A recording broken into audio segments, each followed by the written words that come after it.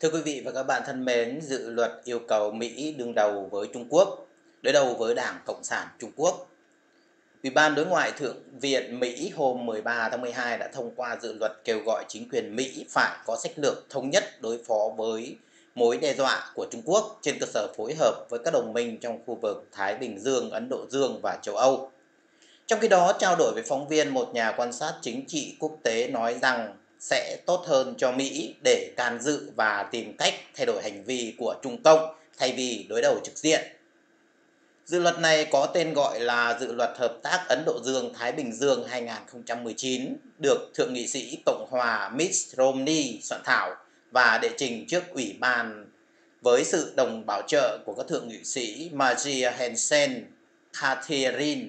Cotter Matto, Trish Con Dân Chủ và Thut Dung Titrus Cộng Hòa.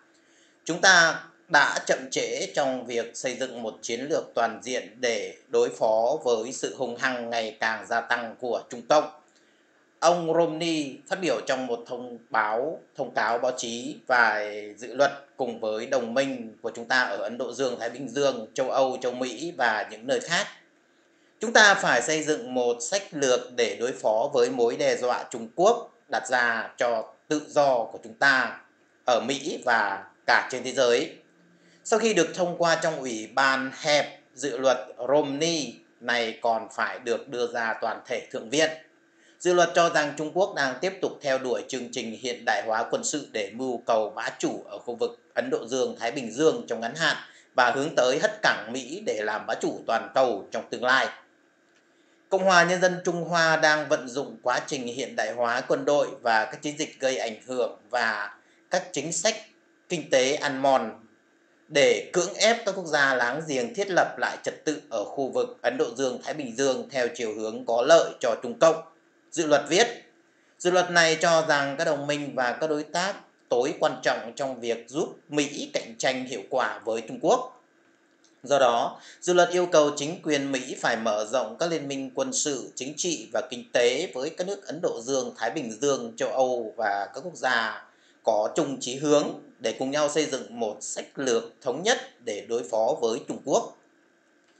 Trao đổi với phóng viên từ Canada, luật sư Vũ Đức Khanh kiêm giáo sư luật bán thời gian tại Đại học Ottawa chuyên nghiên cứu về quan hệ quốc tế và luật pháp quốc tế nhận định rằng Cách tiếp cận của nước Mỹ trên hết của Tổng thống Donald Trump đã gây ra bất mãn ở châu Âu và châu Á như Hàn Quốc, Nhật Bản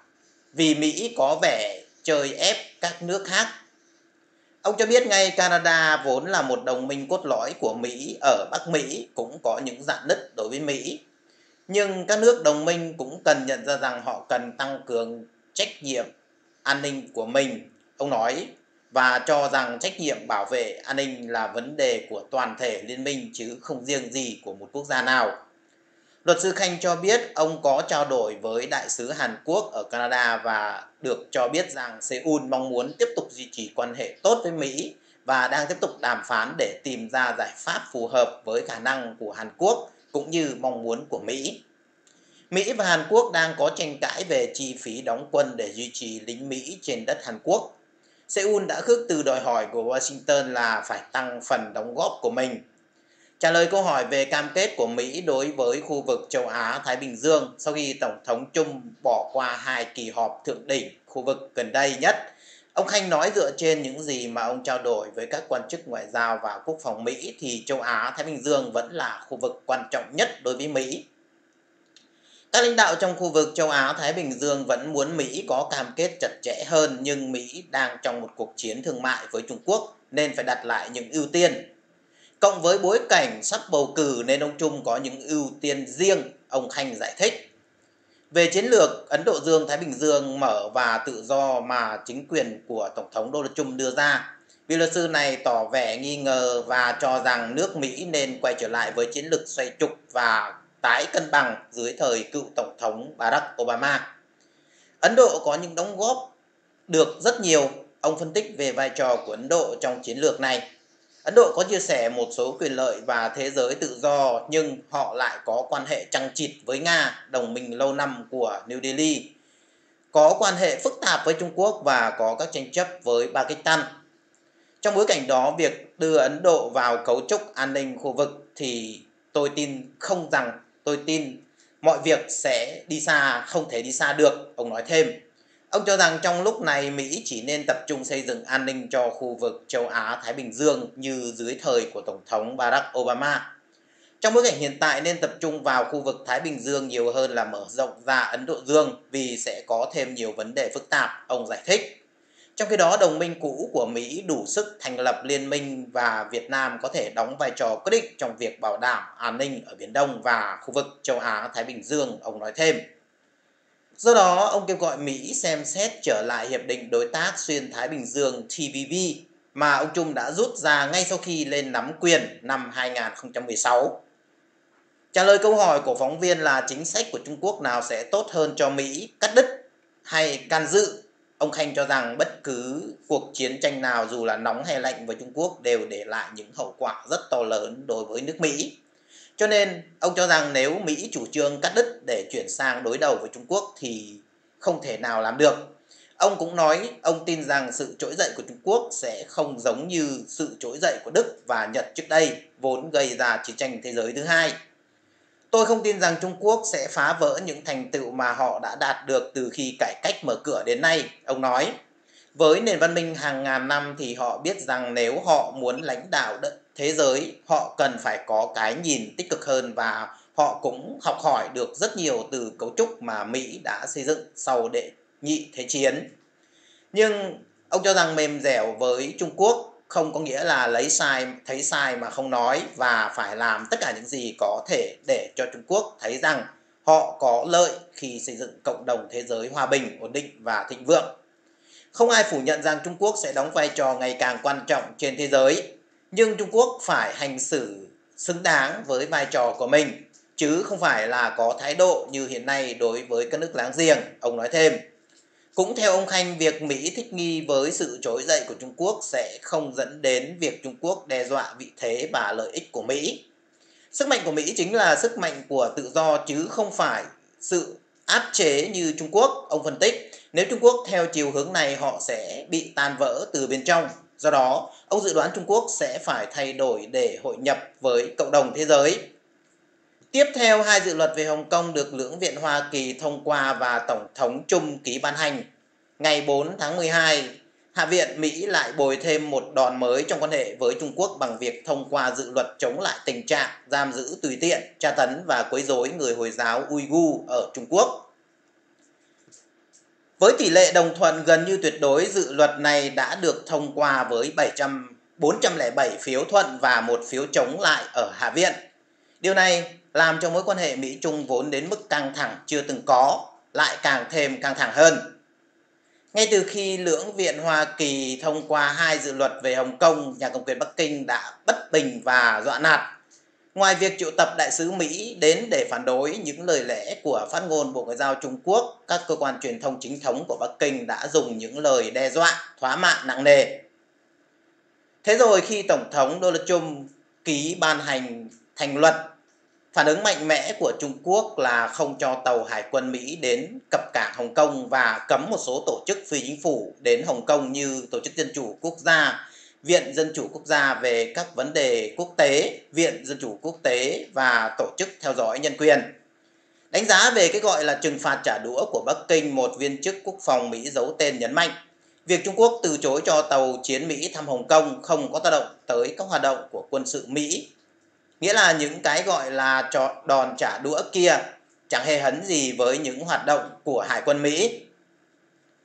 Còn các tổ chức dù là phi chính phủ nhưng cứ dính đến dân chủ, dân nhân quyền là những điều tối kỵ của Trung Quốc thì đã từ lâu ít có cơ hội được đón tiếp tại đây và họ cũng không có nhiều tham vọng hiện diện tại Hòa Lục.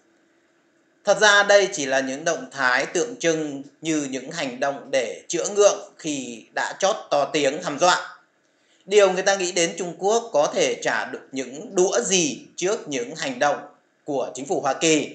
Dù rất mạnh miệng trong các tuyên bố, nhưng trong điều kiện hiện nay, liệu Trung Quốc có muốn và dám làm căng thẳng thêm mối quan hệ giữa Hoa Kỳ với Trung Quốc hay không? Tình hình mọi mặt của Trung Quốc gần đây đối diện với những vấn đề nghiêm trọng ngoài những lý do nội tại do thể chế cộng sản độc tài gây ra, thì một tác động rất lớn là từ cuộc chiến Mỹ-Trung đem lại.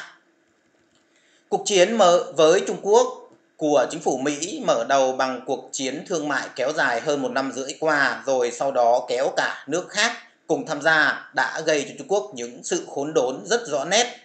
Những số liệu do các cơ quan chính phủ Trung Quốc công bố gần đây đã xác nhận nền kinh tế thứ hai thế giới này đang đối mặt với nhiều khó khăn thách thức không dễ vượt qua.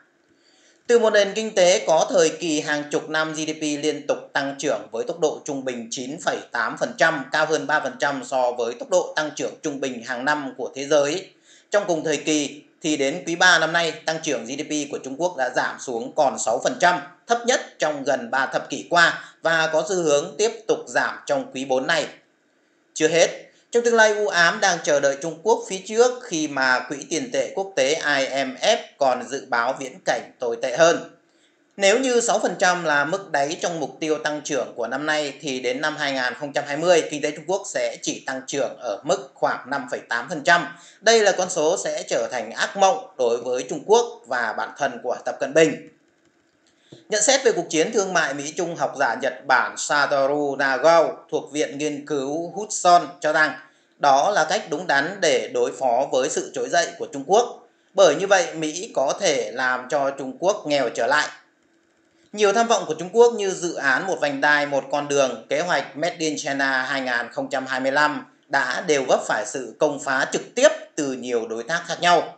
Mới đây, theo báo ABC News Australia, bên lề hội nghị thượng đỉnh ASEAN lần thứ 35, Bộ trưởng Thương mại Mỹ Wilbur Ross hôm 5 tháng 11 đã công bố sáng kiến mang tên Blue Dot Network BDN, mạng lưới điểm xanh với mục đích đầu tư xây dựng các công trình cơ sở hạ tầng bền vững. Các đơn vị chủ trì dự án này là tập đoàn đầu tư nước ngoài Office của chính phủ Mỹ, Ngân hàng Hợp tác Quốc tế Nhật Bản GP, GBIC và Bộ Ngoại giao Thương mại Úc DFAT. Nhiều quốc gia từ chỗ phấn khởi tiếp nhận những dự án từ nguồn vốn của Trung Quốc trong chuỗi một vành đai, một con đường đã nhanh chóng nhận ra những mối nguy hiểm và xem xét lại, thậm chí là từ chối thẳng thừng với các dự án đó.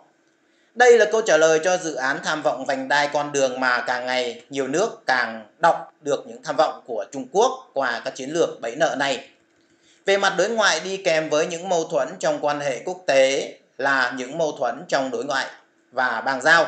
Nhiều quốc gia xung quanh Trung Quốc và trên thế giới đã nâng cao cảnh giác khi có một Trung Quốc trở nên hùng mạnh và không che giấu tham vọng sừng hùng sừng bá.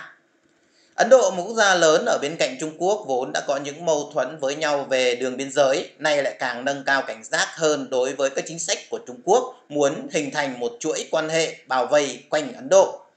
Nhật Bản, một cường quốc về kinh tế bị tranh chấp quần đảo với Trung Quốc đã cho thấy sự ủng hộ của mình với cuộc chiến thương mại Mỹ-Trung và hoàn toàn tự nhiên khi những cuộc thăm dò gần đây của hai tổ chức là Geron NPO và Pew cho kết quả 85 đến 90% người Nhật có thái độ cảnh giác tiêu cực với Trung Quốc.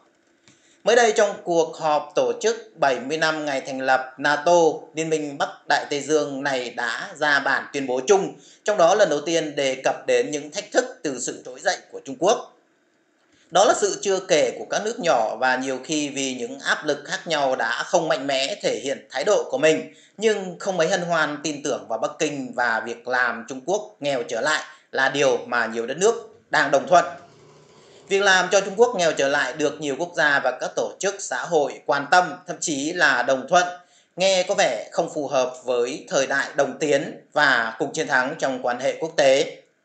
Tuy nhiên, Điều này không lạ bởi chính những hành vi hung hăng bá quyền nước lớn của Trung Quốc chèn ép xâm chiếm lãnh thổ láng giềng, mưu đồ bành trướng lộ rõ ràng khắp thế giới khi trong tay có sẵn đồng tiền. Đồng thời chính thái độ kiêu ngạo cộng sản đã đưa đến việc Trung Quốc bộc lộ quá sớm những tham vọng của mình. Những tham vọng và ý đồ bẩn thỉu đó của Trung Quốc đã làm cho nhiều nước cảnh giác chính những hành động khuất tất hành các hành, các hành xử không đàng hoàng trong làm ăn và quan hệ quốc tế đã đưa Trung Quốc đến chỗ bị tẩy chay nhiều nơi sau một quá trình dài cố gắng vươn ra khắp thế giới. Với dự luật vừa được Hạ viện Hoa Kỳ thông qua liên quan đến người Hồi giáo Uyghur ở Trung Quốc, một lần nữa Hoa Kỳ quyết tâm tấn công vào những tử huyệt của Trung Quốc. nhân quyền và chính sách tàn bạo của Bắc Kinh đối với người dân Hoa Lục, nhất là các vùng lãnh thổ bị Trung Quốc chiếm đóng. Thực chất đây là cuộc chiến đối đầu với Đảng Cộng sản Trung Quốc, hiện là lực lượng độc tài nắm giữ tuyệt đối mọi quyền sinh quyền sát đối với đất nước này. Mới đây nhân kỷ niệm 30 năm bức tường Berlin sụp đổ hôm 8 tháng 11, Ngoại trưởng Mỹ Mike Pompeo nói rằng tại Trung Quốc, Đảng Cộng sản Trung Quốc đang định hình một cái nhìn mới về chế độ toàn trị, một thứ mà thế giới chưa từng chứng kiến trong một thời gian rất lâu rồi. Thế giới cần giúp đỡ cho người dân Trung Quốc sớm thoát khỏi tai họa này. Triển vọng hai nền kinh tế lớn nhất thế giới sắp đạt được một thỏa thuận để giải quyết cuộc chiến tranh thương mại và trở nên sáng sủa hơn hôm thứ Sáu, ngày 13 tháng 12 mặc dù Bắc Kinh vẫn tố cáo Washington là tấn công nền kinh tế của họ một cách không công bằng và nhấn mạnh một giải pháp cho cuộc xung đột thương mại gây nhiều tốn kém kéo dài 17 tháng qua phải có lợi cho cả đôi bên. Hãng tin AP dẫn lời một quan chức cấp cao trong chính phủ của Tổng thống Trung cho biết là sẽ có loan báo liên quan đến Trung Quốc trong ngày hôm qua. Quan chức này yêu cầu giữ kín danh tính để bàn về những kế hoạch được bàn trong nội bộ. Ông Miron Brilliant đặc trách các vấn đề quốc tế của Phòng Thương mại Hoa Kỳ và được cả hai bên tiếp xúc, nói một thỏa thuận đã gần kề. AB dẫn lời của ông Brilliant cho biết chính quyền Trung đã đồng ý hoãn tăng thuế quan lên 160 tỷ hàng hóa Trung Quốc, lẽ ra có hiệu lực từ ngày Chủ nhật hôm nay, đồng thời đồng ý giảm bớt mức thuế hiện hành mặc dù vẫn không rõ sẽ giảm bao nhiêu. Đánh đổi lại, Trung Quốc sẽ mua thêm nông sản của Mỹ, tạo điều kiện để Mỹ tiếp cận thị trường Trung Quốc và siết chặt các biện pháp bảo vệ quyền lợi và sở hữu trí tuệ. Thỏa thuận giai đoạn 1 này dường như không bao gồm các vụ tranh chấp thương mại chủ yếu giữa hai nước. Theo AB đang chờ được Tổng thống Donald Trump phê chuẩn. Ông Trung không bình luận với các nhà báo về đàm phán thương mại với Trung Quốc vào chiều hôm thứ Năm khi ông trở về Tòa Bạch Ốc. Sáng thứ Năm, ông tuyên bố trên Twitter đang tới rất gần một thỏa thuận lớn với Trung Quốc. Họ muốn đạt thỏa thuận và chúng ta cũng thế. Các giới Trung Quốc không xác nhận về một thỏa thuận tiềm tàng trong các phát biểu nêu bật khoảng cách còn rất xa giữa hai bên. Hiện chưa có dấu hiệu nào là thỏa thuận giai đoạn 1, bao gồm các vụ tranh chấp lớn kể cả những than phiền của Mỹ rằng Bắc Kinh đánh cắp hoặc áp lực các công ty phải chuyển giao công nghệ. Hãng tin Reuters dẫn lời bình luận của người phát ngôn Bộ Ngoại giao Trung Quốc Hoa Xuân Ánh trong cuộc họp báo hôm thứ Sáu 13 tháng 12 nói rằng các cuộc đàm phán phải được dựa trên nguyên tắc bình đẳng và tôn trọng lẫn nhau và rằng thỏa thuận này phải có lợi cho cả đôi bên, hai bên đều thắng. Thế nhưng tại một diễn đàn khác cho chính quyền tổ chức ở Bắc Kinh, Ngoại trưởng Trung Quốc Vương Nghị than phiền rằng Washington tấn công Trung Quốc một cách bất công. Tuy vậy, triển vọng đạt được một thỏa thuận giữa hai nền kinh tế lớn nhất thế giới được đón nhận tích cực tại các thị trường chứng khoán thế giới chỉ số trung bình công nghiệp Dow Jones tăng 220 điểm, tức 0,79% hôm thứ Năm. Hôm thứ Sáu, chỉ số Nikkei tăng 2,6%, chỉ số Thượng Hải Composite tăng 1,5%. Xin chân thành cảm ơn thời gian theo dõi của quý vị và các bạn đã dành cho chương trình của chúng tôi đến phút cuối. Hãy để lại những lời bình luận góp ý ở bên dưới video để giúp chúng tôi thực hiện các chương trình kế tiếp một cách tốt hơn. Hãy bấm vào nút chia sẻ để cho thông tin được lan tỏa đến với nhiều người hơn. Hãy bấm vào nút đăng ký để trở thành thành viên tích cực của kênh. Hãy bấm vào hình quả chuông bên cạnh nút đăng ký để nhận được những thông báo nhanh nhất, sớm nhất về các chương trình của chúng tôi sắp phát hành. Xin chân thành cảm ơn và hẹn gặp lại quý vị và các bạn trong các chương trình kế tiếp của chúng tôi.